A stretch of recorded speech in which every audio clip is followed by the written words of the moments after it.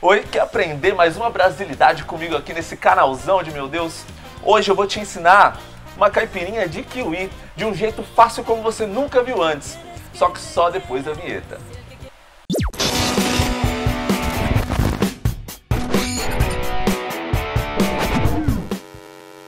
Oi, eu sou o Tato e seja muito bem-vindo de volta aqui ao canal Showtime, ao balcão do Red Show Pub aqui em Santo André, São Paulo. Vamos lá para fazer uma caipirinha de kiwi de um jeito super fácil. Muita gente que eu conheço, muito bartender bom por aí que eu conheço, tem muita preguiça de fazer caipirinha de kiwi pela dificuldade de ter que ficar descascando o kiwi. Às vezes o pessoal usa colher de um jeito meio difíceis. Mas isso acabou na tua vida e hoje eu vou te ensinar um jeito muito mais fácil de descascar o seu kiwi e fazer uma caipirinha super equilibrada, não tem erro. Então vamos lá, o primeiro passo é descascar o nosso kiwi. Então eu vou pegar aqui uma faca, uma boa faca bem afiadinha e vou cortar as duas tampinhas dele.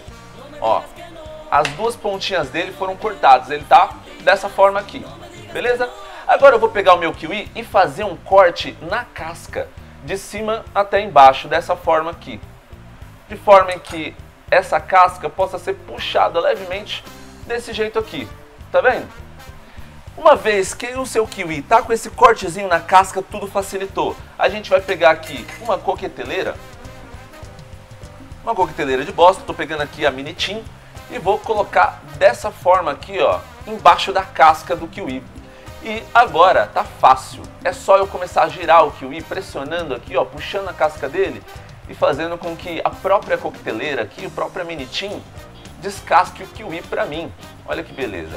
No começo, você vai sentir um pouquinho de dificuldade para fazer isso, mas depois você vai ver como é bem simples. E olha aqui que maravilha, a casca do kiwi toda retirada, sem desperdício de fruta, e eu tenho meu kiwi inteirinho aqui. Legal, né? Então vamos continuar nossa receita aqui. Agora que nosso kiwi está cortado, tudo muito mais fácil. Vamos lá, seguindo. Vamos pegar o kiwi aqui e cortar ele mais ou menos em quatro ou em mais pedaços, como você preferir. Isso aqui vai ser só para facilitar a nossa maceração, facilitar de transformar essa fruta aqui numa espécie de purê dentro do nosso copo. Maravilha, pegando aqui nosso kiwi e jogando para dentro de um bom copo Ilha Bela, como esse daqui, como vocês estão vendo. E caso você não conheça muito bem sobre copos, eu vou deixar aqui marcado nos cards um vídeo aqui no canal onde eu te ensino tudo sobre copos e utensílios e principais ferramentas de bar. Beleza? Vamos seguindo aqui para nossa receitinha. Próximo passo agora é colocar o açúcar sobre a fruta. Ele vai ajudar a macerar isso daqui sem escorregar tanto o macerador, vai facilitar o nosso processo. E com açúcar em mãos, vamos adicionar aqui duas colheres sobre o kiwi. Duas colherinhas de bar são o suficiente para adoçar essa caipirinha.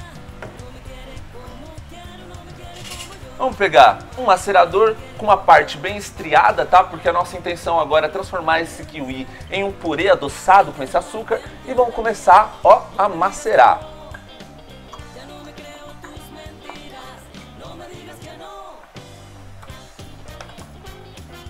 É interessante, sempre que você estiver macerando alguma coisa, você use essa postura que eu estou utilizando. Eu estou segurando aqui a base do copo com a minha mão e não em cima do copo. Porque se eu fico segurando na borda aqui do copo, né, no vidro do copo, eu acabo, além de aquecendo o meu copo, deixando um monte de marca de dedo que não é legal, tá? Então sempre segura pela base e vamos pressionando aqui em cima.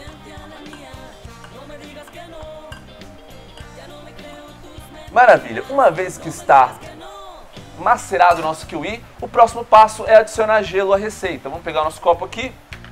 Cadê minha pá? Achei minha pá. Vamos lá, vamos adicionar bastante gelo.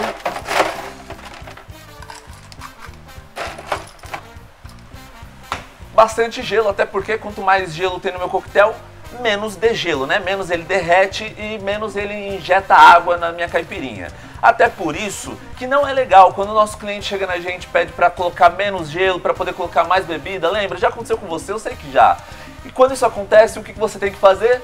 Dar um tapão na cara do cliente. Mentira, não é isso que você vai fazer. Você vai simplesmente educar o seu cliente e dizer para ele que quanto menos gelo você colocar ali, mais esse gelo vai derreter e vai ficar injetando água. Isso vai estragar completamente a receita, certo?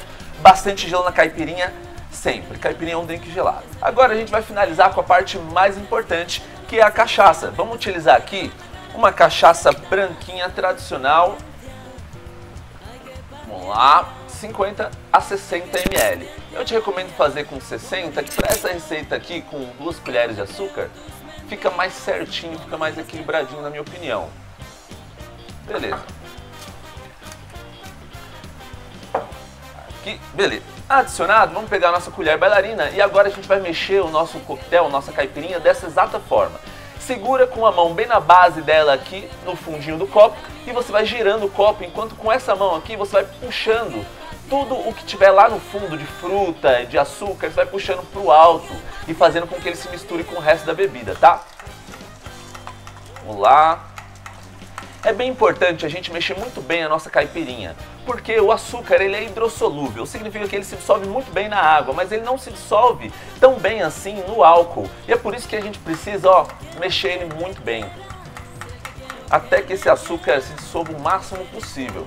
Olha como essa caipirinha é bonitona. Maravilha. Feito isso, sua caipirinha já está praticamente pronta. Mas eu gostaria de trazer um aroma um pouco melhor para ela. Por quê? Porque o kiwi não é uma fruta lá tão aromática. E é por isso que eu gosto muito de utilizar um raminho de alecrim na minha caipirinha de kiwi. Eu coloco ele aqui do lado e ele já ajuda a aromatizar esse coquetel e deixar ele cada vez, ó, já estou sentindo até o cheirinho de mato, maravilhoso. E é isso aí, uma caipirinha de kiwi, simples, prática e eficiente, como uma boa caipirinha deve ser. Vamos provar agora? Vamos ver como é que isso aqui ficou? Hum. Fica excelente. O kiwi ela é uma fruta bem adocicada e bem suave. Ela não tem tantas nuances difíceis de sabor tão complexas para o teu paladar. Ela traz um sabor suave, macio e adocicado.